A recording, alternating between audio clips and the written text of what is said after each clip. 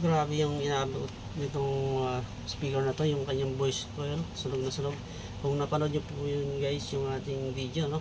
Yung about kung sa pagtanggal ko dito ng cone na to. Panoorin nyo po. At kung ano yung condition ng kanyang edge at saka spider. At this time ay ito po ay i-rewind natin. Grabe yung inabot. Ito pa rin yung gagamitin nating pinaka ah, hulmahan ng voice. Tatanggalin lang natin yung coil kasi talagang sunog na sunog na siya. Papakita ko po sa inyo kung paano ko po ito eh, i-rewind. Ang unang-unang gagawin ko po ay lalagyan ko to dito ng pinaka hulmaan spacer. Meron akong naka-ready. Ito po ay galing sa TV, yung pinaka reflector or tawag doon. Ah, backlight muna bago ito yung nilalagay. Kaya kung mapapansin nyo ito may grado siya. Pwede naman yung sa floor mat. Wala kasi akong makuha sa floor mat dito kaya ito yung aking gagamitin. Lalagay ko lang siya dito guys. Ayan. Kailangan masikip na masikip ito. Para maganda yung kanyang hulma dito sa pinaka voice coil. Masikip na masikip dapat yan. Lalagyan ko pa ng ano yan ng pampasikip dito hanggang sa lumiit ng lumiit siya. Para maipasok natin dito sa axle.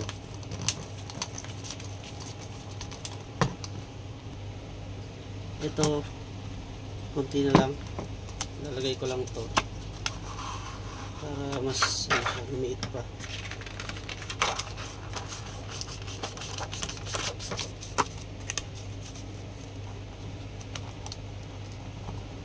okay.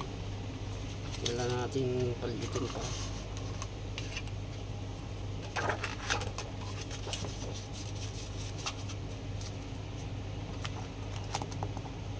yun. Yan siya. Tapos inyo pang higpitan. Tutin nyo pa ganun skip na. Karagdagan pa po natin to para pumasok siya dito sa fit na fit dito sa kanyang pinaka axle kasi meron po itong stopper. Ang stopper na ilalagay natin ay ito. Pag nilagay natin ito dito pasok na pasok pa siya.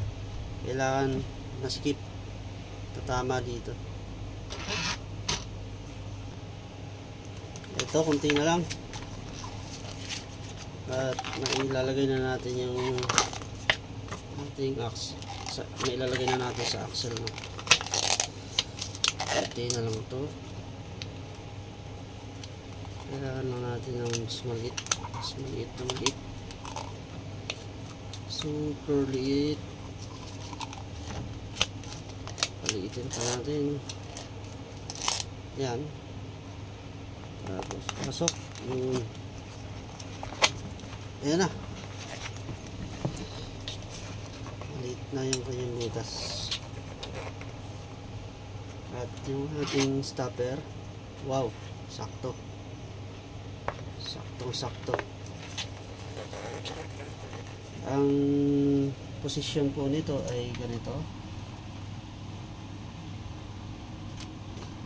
Ito meron akong isa dito uh, stopper. Lalagay na yan dyan pasok ko lang siya dito. Okay. Pasok. Tapos yung isa naman dito sa kabila. Yan ganyan siya. Tapos meron siyang tornilyo dito. Ayun at ang pinalabasan ay ito napakaganda walang walang wiggle sikip kasi siya kaya madali lang itong i-rewind Bali, ang, ang next na gagawin ko po dito ay tatanggalin na natin tong lumang coil. Bago natin tanggalin yung coil, kanina kasi itong na may sunog na part, nakabukol po yan. Kaya pagka nilagyan ko dito, meron siyang space. Ngayon, para pag uh, latag natin mamaya ng coil ay hindi ito mag-compress, lalagyan ko po siya dito papatungan na natin yan para sumikip Ayan siya.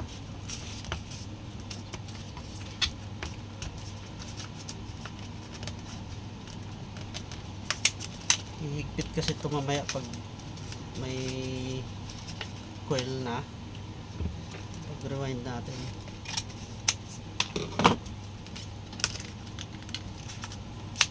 Ayan. Okay. Papantay lang.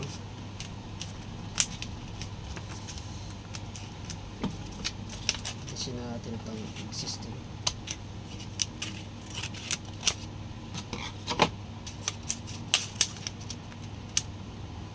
Okay.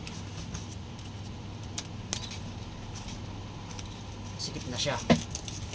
Pwede na yan. Tatanggalin ko lang tong pinakasunog na part tapos lilihain ko na siya mamaya. Share ko lang po sa inyo ang size nito ay 2 mm. Ay sorry. Uh, 2 ayan 2 2 mm at ang number po niyan EWG ay 29 yan yung size ng kanyang wire tanggalan natin yung coil.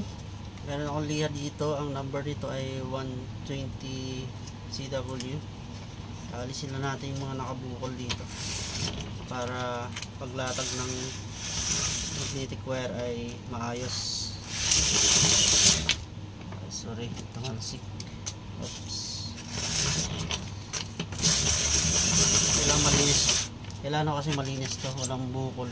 Walang edge or something na makinis dapat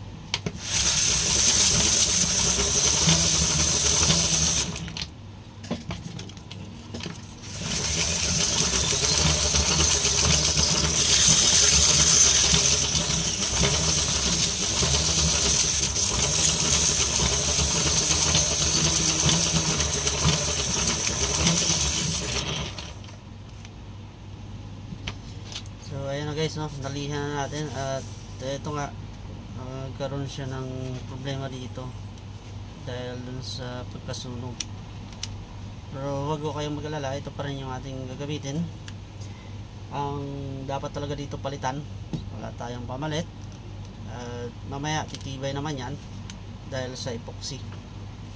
Kaya at this time ay okay lang yan pero dapat kung ganyan yung condition ng kanyang pinaka lagayan ng voice coil ay palitan nyo na po. Lagyan ko lang siya dito para hindi mangat ayan siya. Ready na yan. Ready na siyang airwind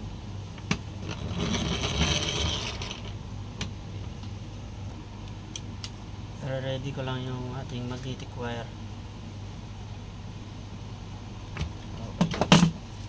Dyan natin siya umpisahan. Dito. Ganyan lagyan ko lang ng tape dito. Tapos siya na. Lalagay tayo dyan ng epoxy.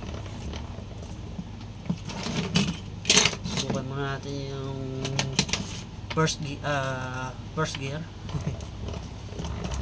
Uh, mabigat siya ikutin no? meron kasi itong adjustment. I mean yung gear. May option siya. Ito, ito. Yan, medyo malambot. Mayroon akong video niyan.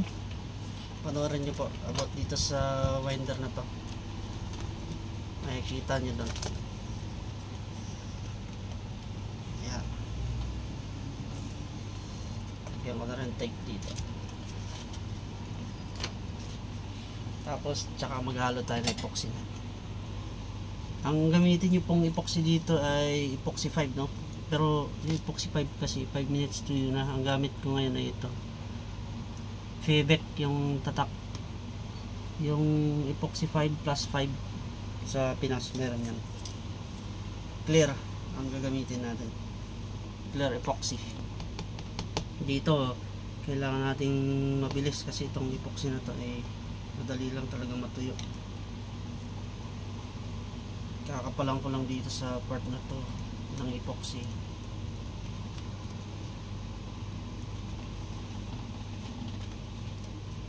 Yan. Lagyan muna paikot. Paikot. Tapos pag napuno na, lagyan natin yung umpisahan. Okay. So, umpisahan natin. Oops.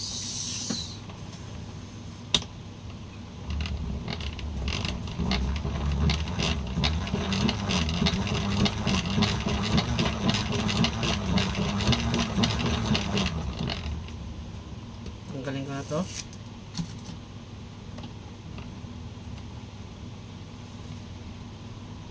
Okay. Tapos ayusin na natin tong dikit niya at saka natin ipapatong yung pangalawang winding. Okay. Tapos balik ulit.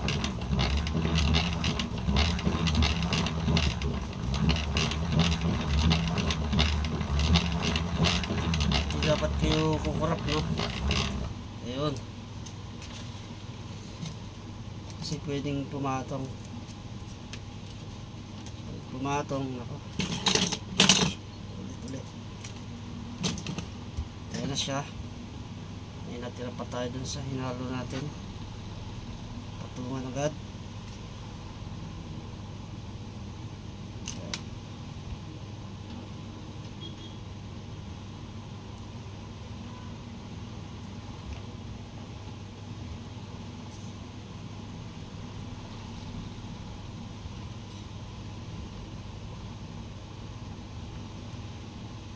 Madali lang naman mag-rewind.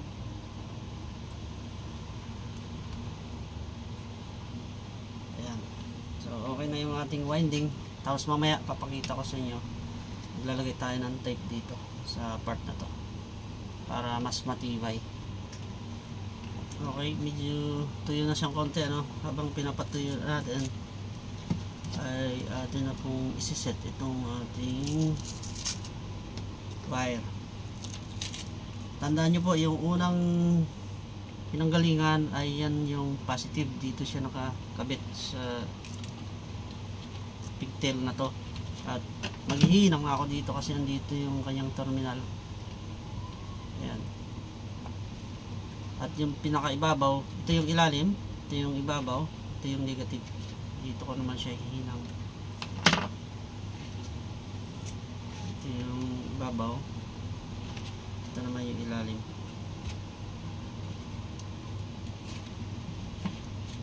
Kakat ko lang.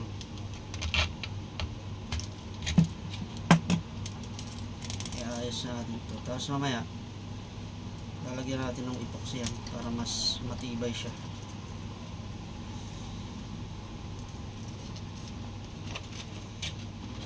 Okay, so ito yung sa ibabaw. Yan. Yung sa ilalim. Dito siya. Kakat ko na yan. Hihinang natin yan. Tapos ito dito. Hihinang ko muna to bago natin patungan ng epoxy yan dyan banda. Okay. Ayan na siya. Babalatan lang natin tong kanyang copper wire. Ito po ang ginagamit ko liha pag pagtanggal ng coating na para maihinang natin ng maayos. Liha. Pwede namang yung kutsilyo. Kaskasin niya na lang. No, mas maganda kasi liha.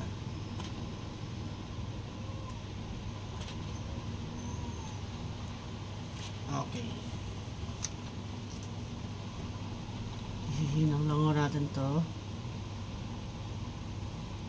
Okay. Kagandahan nito meron siyang terminal dyan sa part na yan.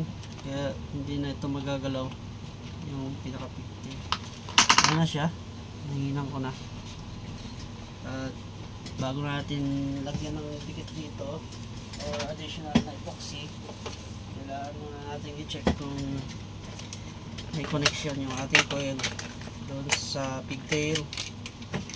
Para sure ball tayo. Set ko lang yung tester ko sa times 1 times 1 8 ohms po ito. Yung yung voice coil testing. Ayan meron naman. May continuity naman oh. hindi ko lang mabasa ko ilang ohms yan 7 ohms yata. Wala naman sakto talaga ohms dito. Uh, 5 6 7 7 ohms. Ah 7 ohms kasi yung tester ko hindi sumasagad. So 8 ohms siya. Ayan lubat na kasi yung battery. Sakto 8 ohms. Okay so yan habulan ko na ng epoxy dito yan kailangan sa part kasi na to ay matibay. Kasi meron na siyang tama ano may lamat na eh. lalagyan natin ng epoxy yan paikot epoxy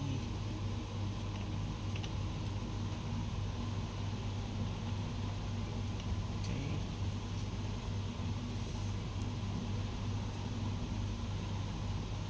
yan lalagyan natin ng masking tape. Dito. Masking tape.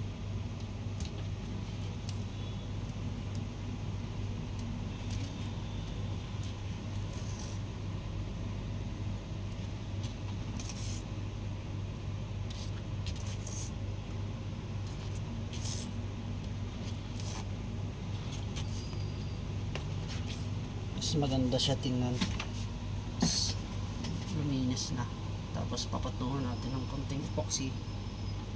Yung masking tape.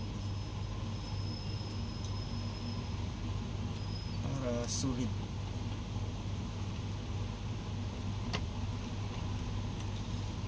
so ayan na yung kinalabasan niya.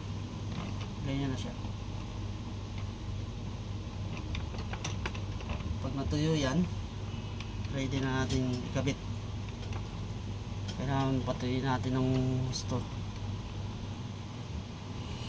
Ayan na ah, medyo malambot pang konti. I mean hindi yung matigas na matigas talaga no? kailangan 24 hours. Patigasin nyo talaga to. So sa ngayon ay tanggalin ko na. Tanggalin ko na siya. Okay. So, madali lang pagka nagkalas ito. Alisin nyo lang to. Itong mga spacer na to. Para matanggal yung voice coil. Yan. Madali lang. Simple, simple. Tapos ito kasi wala akong ano, dito ko na ibabalik. Whoops. Yeah. Dito ko na siya ibabalik. Kailangan kasi ano to. Uh, ganyan siya. Pag hindi, mahirap ipulupot. Ayan. Maganda pala yung ano, yung sa backlight ng TV to, eh, yung pinaka ano nila pinaka reflector ito yun eh okay pala pero mas gusto ko pa rin yung ano, floor mat. Malambot kasi yan. I mean, madali siyang ikutin. Ito hindi. Medyo struggle tayo dito. Ito na yung pinaka final. Pinaka final na.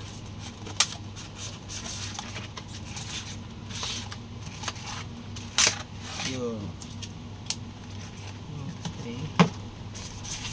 Tingnan natin yung outcome. Kung ano ang yung tsura. Ito yung pinasok natin kanina. oh.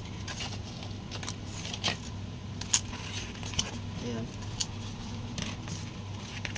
Tatanggalin ko lang. Dito tayo mag-umpisa. Okay, ito, ito, ito.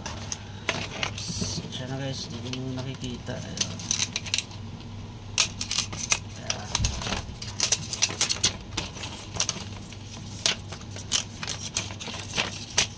Ayan siya. Yung ilalim niya yan. Tingnan niyo po.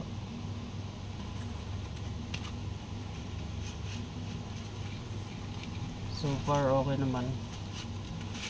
Merong merong sobra dito, epoxy yan. Ito, gugupitin lang natin yan. Gugupitin na lang. Ganyan lang siya.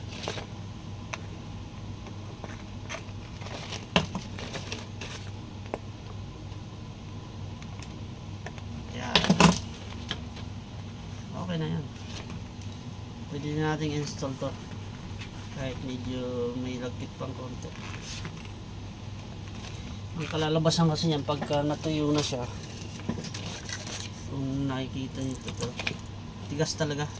Dumudulas na yung kuko ko. Ayan o. Kahit kaputin ko pa yan. Ganyan katigas yung epoxy na ginagamit ko. Pagka natuyo na siya. Okay, so ready ko lang yung frame. Ito na yung kanyang frame at isusukat natin. Wow. Ayan, oh, sakto-sakto. Walang sabit.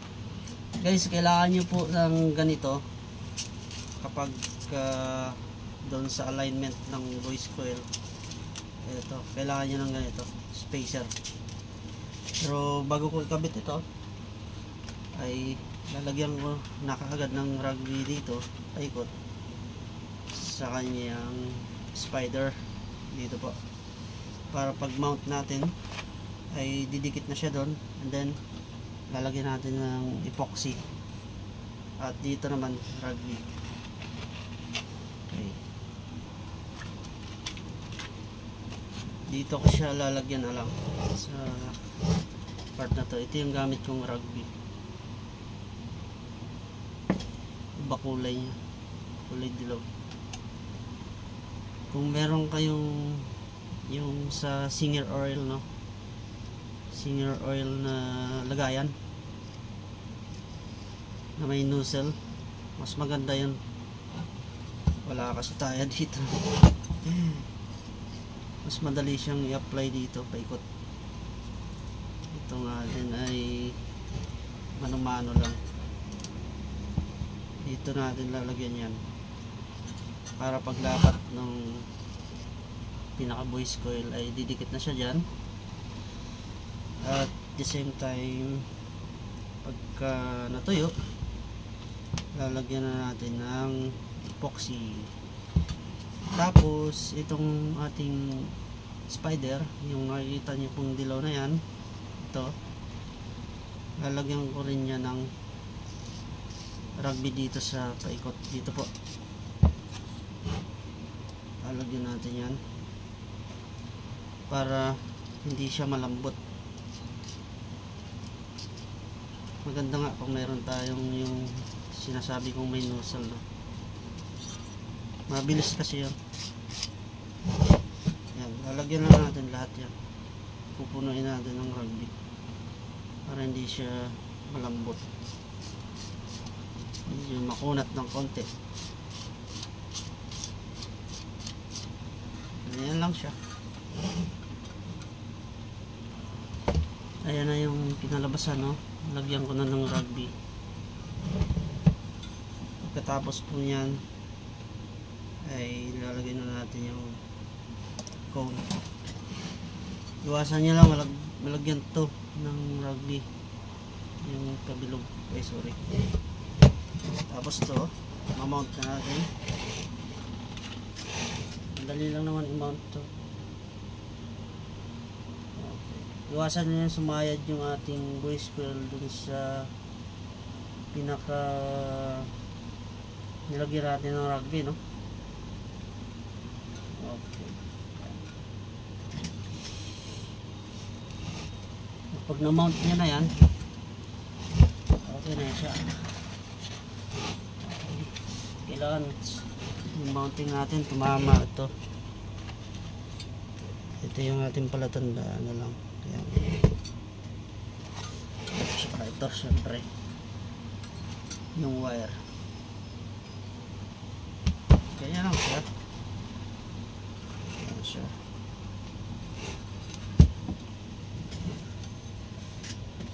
Tingnan niyo po, napakaganda. So, dyan, hindi ko mapocus yung ating camera. Napakaganda. Okay, after nito, ay lalagyan ko na siya ng spacer. Ito. Naka-level naman na yan. Yung kanyang height ng voice coil makikita nyo naman audible yan dahil dito sa ating edge no? Nakapantay siya. Ayan siya. Tsaka dito rin sa spider. Pantay siya. Kaya naman pwede na natin lagyan niya ng spacer. Ganito ng paglagay ng spacer yan dikit sure lang na na-maintain yung level ng ating voice coil.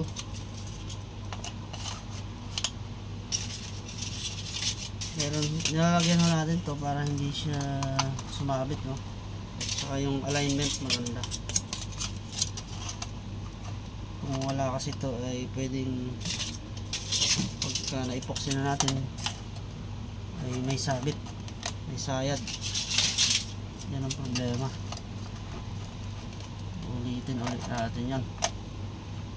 Okay. Kailangan masikip na masikip to. Pupunain natin yan paikot. Masikip dapat siya para hindi gumalaw yan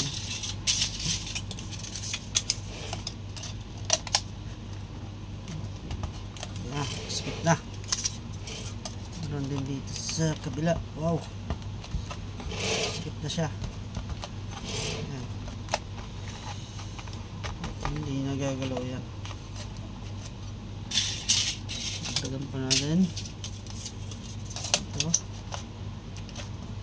Oh, pumapasok pa. Hanggat pumapasok pa, sige lang. Pagka hindi na, huwag nang pilitin. Okay, so yun. Sikip na sikip na talaga. After that, dito na tayo. Maglalagay ng rugby sa side na to. Ang lalagyan ko ng rugby dito ay itong edge. Ito kasi yung ididikit natin. Dito ako maglalagay.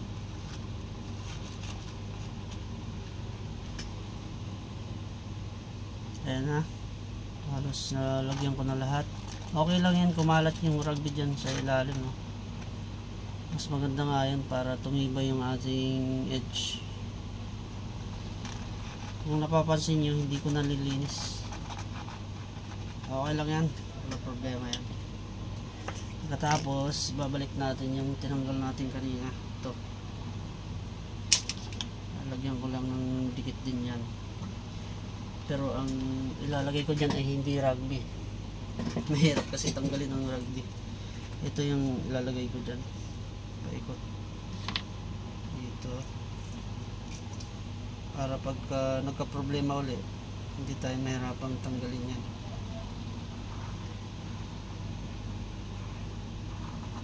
Katapos nito ay itataob ko siya para dumikit itong ilagay natin ganyan lang siya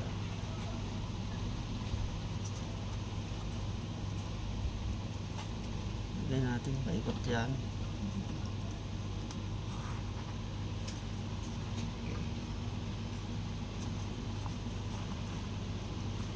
tapos mamaya papakita ko po sa inyo to pagka natuyo na tataob ko lang siya dito no? hindi ko kasi pwedeng itaob sa mesa to kasi ito nakabukol eh. kaya dito ko siya ipapatong sa speaker na to yung kanyang cabinet ayan na siya maya maya pagka natuyo tatanggalin natin yan dyan. Papakita ko sa inyo yung ating ginawa. Kung okay ba or hindi. Ayan na naidikit na yung pinaka spacer dito. Ang next na gagawin ko po dito ay lalagyan na natin ng epoxy yung pinaghiwaan natin dito sa spider ang gagamitin kong epoxy dito ay pwede rin naman to. Pero meron akong isa pang epoxy dito na kagaya rin ito okay lang naman gamitin to. Gusto ko lang gamitin tong epoxy na to. Ito kasi naka uh, prepare sa aking uh, paglagay sa voice coil no? itong epoxy na to.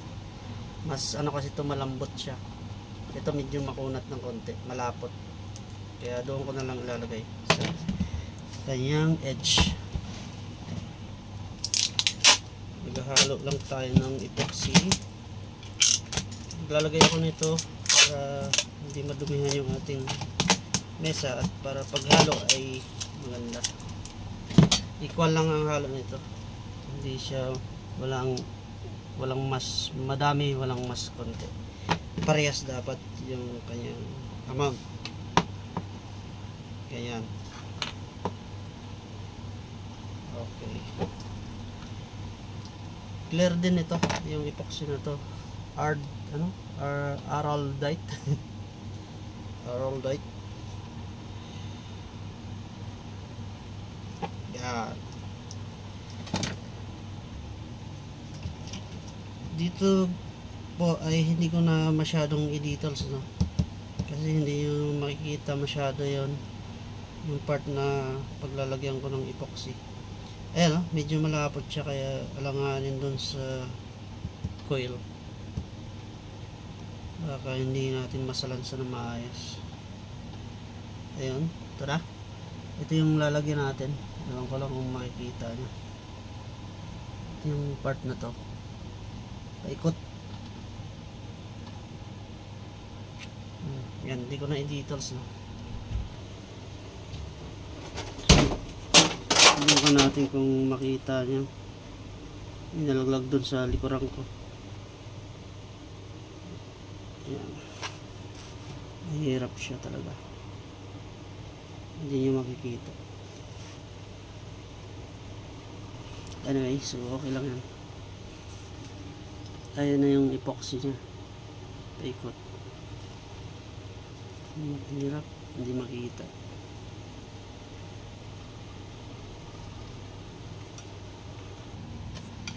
ayan na. Tuyo na siya at nahinginan ko na rin yung pigtail niya. I-check na natin kung maganda yung ating alignment. Kailangan wala siyang sabit. Malinis dapat. Wow. Ayos. Walang kaluskus. Smooth na smooth tignan natin sa tester. Yun. Ayos no? Yun no? Times 1 yung aking tester.